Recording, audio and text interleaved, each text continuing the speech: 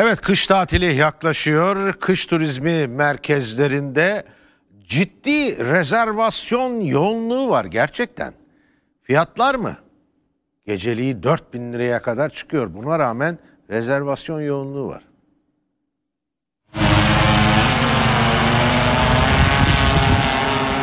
Türkiye'nin önde gelen kayak merkezleri yeni sezon için gün sayıyor.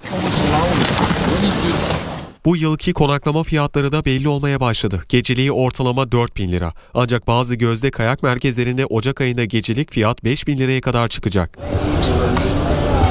Türkiye'nin önemli kış turizmi merkezleri Erciyes, Uludağ, Kartepe, Palandöken ve Sarıkamış'ta Aralık ayının ortasından itibaren yeni sezonun başlaması bekleniyor.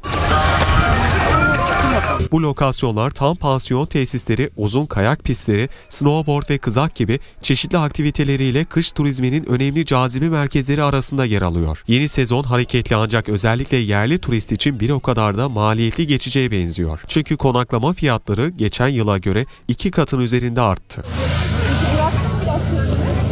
İşte bu yılki gecelik konaklama fiyatları. Sarıkamış bir gece konaklama 3250 lira, Palandöken 2 gece konaklama 4750 lira ve en dikkat çeken fiyat Uludağ. Geceliği Ocak ayı itibariyle 5000 liraya kadar çıkacak gibi duruyor. Ocak ayında Uludağ'da 2 kişi 4 gece 5 gün tatil yaptığında eğer İstanbul'dan gidiyorlarsa 850 lirada benzin parası eklenince toplam 16 bin lirayı gözden çıkarması gerekiyor.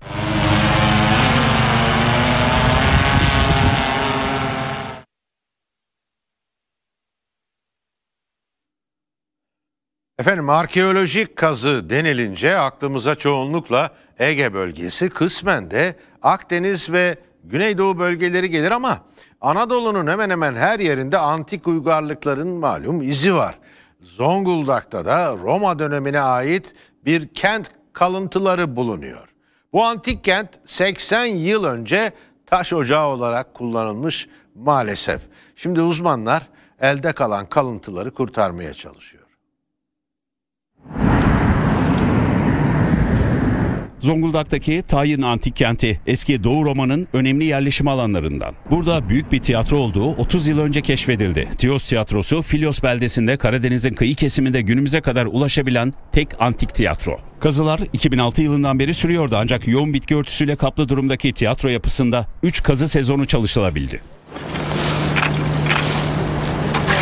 Karayolu'nun tiyatronun oturulan bölümlerinin önemli bir kısmından geçmesi, elektrik hatları ve benzeri teknik problemlerin yanı sıra bütçe nedeniyle çalışmalara ara verildi.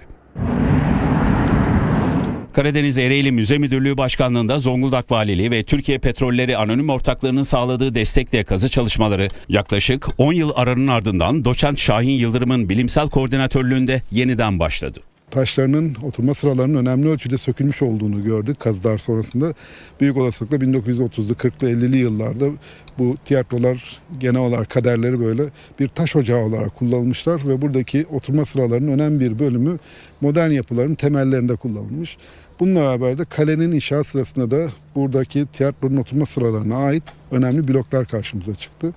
Ve bu yılki çalışmalar sırasında Kavea'nın oturma sıralarının olduğu bölümde yaptığımız çalışmalar sırasında hem kuzeyinde hem güney hattındaki oturma sıralarına ait önemli parçalar ortaya çıkarttık. Yeni çalışmalarla tiyatronun kapasitesinin 7 bin kişilik olduğu belirlendi. Antik tiyatronun yapılacak röleve, restitüsyon ve restorasyon projeleriyle kültürel hayata kazandırılması hedefleniyor.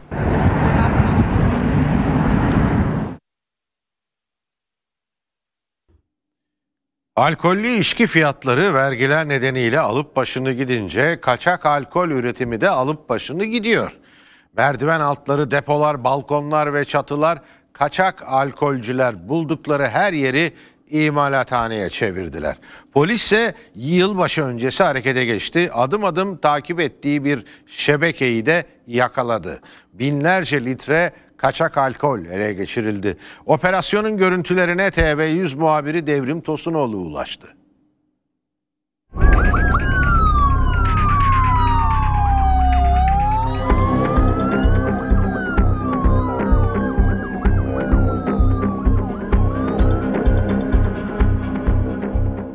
Evlerde, depolarda, kömürlüklerde, balkonlarda ve çatılarda ürettiler. Yine adresin bu bölümünde yapılan aramada Burada boş şişeleri doldurdukları, üzerine yapmış oldukları düzenekleri görüldüğü gibi kamyonlarla naklettiler.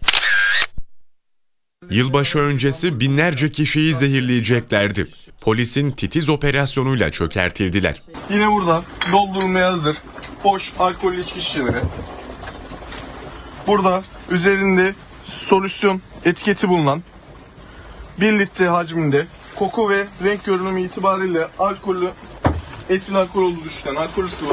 Yılbaşının yaklaşmasıyla sahte alkol şebekeleri yeniden hortladı. Polis de teyakkuza geçti. İstanbul Emniyet Müdürlüğü Kaçakçılık Suçlarıyla Mücadele Şube Müdürlüğü ekipleri büyük bir şebekeyi çökertmek için çalışma başlattı. Polis titiz çalıştı. Önce şebeke üyelerini tespit etti.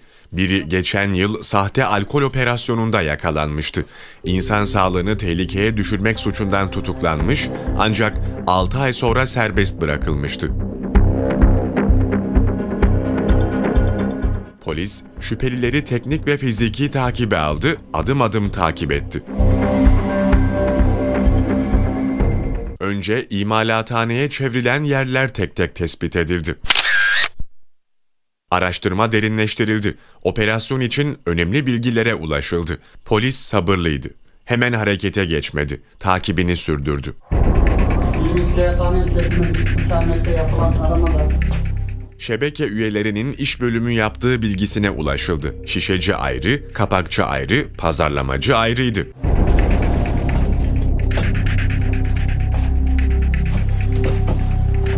Burada yabancı bandrollü Kaçakçılık polisi yeni bilgilere ulaştıkça şebekeyle ilgili çalışmasını adeta bir arkeolog titizliğiyle sürdürdü. Kaçak imalat yapılan adreslerin yabancı uyruklu kişiler üzerinden kiralandığı belirlendi. Şebekenin şifreli bir dili de vardı. Polis şifreyi de çözdü. Şebeke, imalathane için yazlık, hazır olan alkol için arabanın tamiri bitti mi, kazandıkları para içinse tekstil işinde her zaman para var şifrelerini kullanıyordu. Şebeke, sahte alkolle yaptığı içeceklerin çeşitlerine de pantolon, fermuar, lastik, anahtar, su ve kola gibi isimler takmıştı. Polis sahte alkollerin tekel bayileri, büfeler, restoranlar ve eğlence mekanlarına satıldığını tespit etti. Üstelik bunlar kamyonlarla naklediliyordu. Polisin çalışması tam 6 ay sürdü. Polis iğneyle kuyu kazar gibi çalıştı. Şüphelilerin izini tespit etti. Bu tespitlerin ardından operasyon düğmesine bastı. Kömürlük olarak kullanılan müştemilat kısmında yapmış olduğumuz aramada burada görüldüğü üzere siyah poşetleri, pamukla edilmiş 30 litrelik plastik bidonlar Polis tespit edilen tüm adreslere eş zamanlı olarak girdi. içerisinde yapılan kontrolde ise üzerine herhangi bir etiket vesaire bulunmayan doluma hazır, boş, içki konulmak üzere şişeler Önce şüphelileri yakaladı. Ardından kaçak imalathaneler didik didik arandı. binanın giriş kısmına girildiğinde yapılan aramada üst kısma girildiğinde adresin burada doldurulmuş, içime hazır, sahte bandollü alkol şişeleri görülmüş. Her yerden sahte alkol, boş ve dolu şişeler, alkol yapımında kullanılan malzemeler çıktı. Yine adresin bu bölümünde yapılan aramada burada boş şişeleri doldurdukları, üzerine yapmış oldukları düzenekleri görüldüğü gibi Operasyonda binlerce litre sahte alkol ele geçirildi, 32 şüpheli yakalandı.